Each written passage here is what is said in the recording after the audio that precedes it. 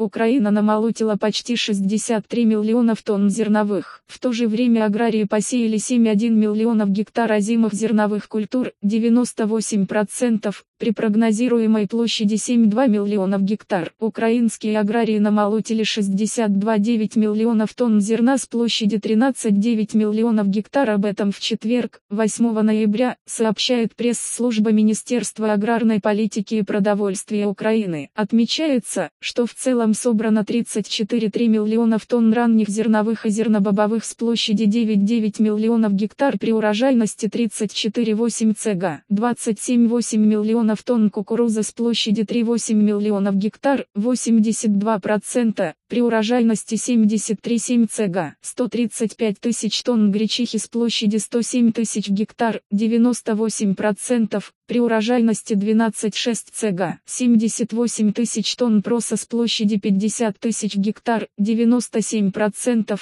при урожайности 15,4 цг. Также намолочено технических культур, 13,3 миллионов тонн подсолнечника с площади 5,9 миллионов гектар, 98%, при урожайности 22,4 цг, 4,3 миллионов тонн сои с площади 1,7 миллионов гектар, 98%, при урожайности 25,5 цг, 2,7 миллионов тонн рапса с площади 1,0 миллионов гектар при урожайности 26,1 цг, сахарной свеклы накопано 12,1 миллионов тонн с площади 245 тысяч гектар, 88%, при урожайности 492 цг. Одновременно с уборкой урожая идет осенняя посевная кампания. Так, аграрии посеяли 7,1 миллионов гектар озимых зерновых культур, 98%, Романов при прогнозируемой площади 7,2 миллионов гектар. Кроме того, озимый рапс при прогнозируемой площади 888 тысяч гектар посеян на 1,0 миллионов гектар, 116%.